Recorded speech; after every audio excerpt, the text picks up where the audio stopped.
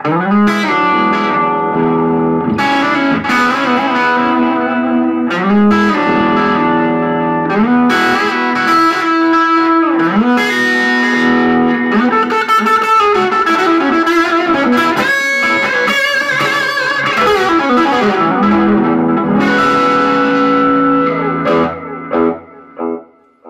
this is Charlie Starr from Blackberry Smoke. Big thank you to Vintage Guitar Magazine for their interview in the upcoming issue.